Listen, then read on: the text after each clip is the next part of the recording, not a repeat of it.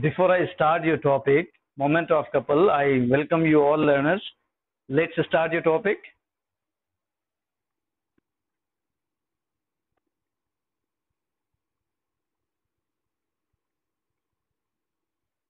See, in previous class we discussed if a force acts on a body and the body is pivoted at a fixed point, then the effect of force will turn the body and the product of magnitude of force and perpendicular distance from pivoted point to the line of force is turning effect. But a single force cannot rotate a body alone. For rotation or turning of a body, a pair of forces are required. Here you see in this example, a force is applied externally at this point and Force of reaction acts. here at the pivoted point. The magnitude of this force is equal to magnitude of this external force, but in opposite direction. The turning effect of this force is zero because the perpendicular distance of pivoted point from this line of force is zero. External force and the force of reaction is called couple and couple is always needed for rotation of a body.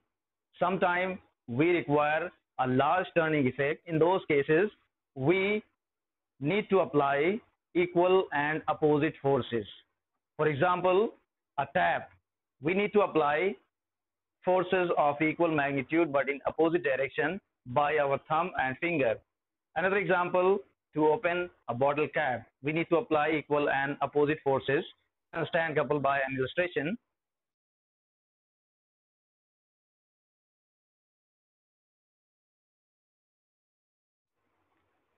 Let us take example of a bike handle. You see it is pivoted near its headlight. When we turn bike, we need to apply forces of equal magnitude but in opposite direction. If we turn this bike in this direction, we need to apply force F and same equal and opposite forces need to be applied at this point.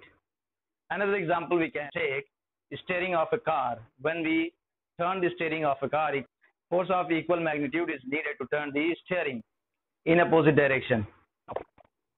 Let us drive moment of couple. Let's take a rod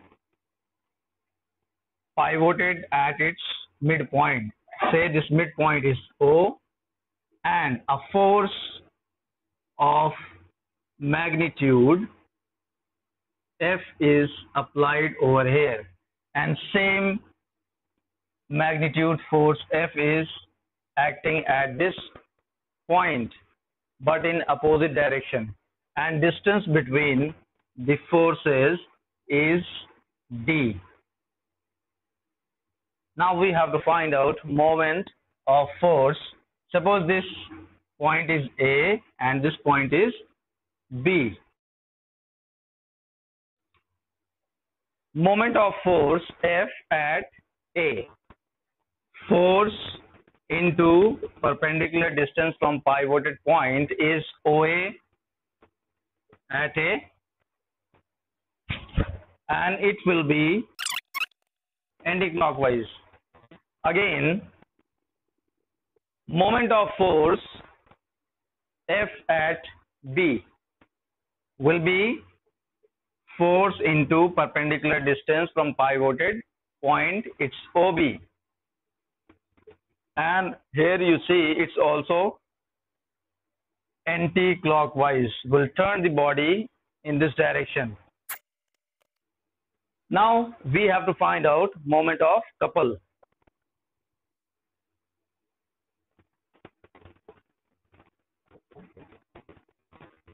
Plus force into OB. You see F is common OA plus OB. And here we have OA plus OB is